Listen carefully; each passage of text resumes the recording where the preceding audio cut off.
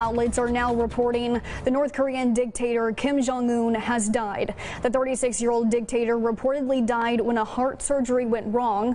Because of the nature of the secret regime in North Korea, the claims of his death have been difficult to verify. It was on Monday we learned the leader was in a poor state. We know there is a family history of bad heart health, his father dying in 2011 from a heart attack. It is unclear who will now take over for North Korea.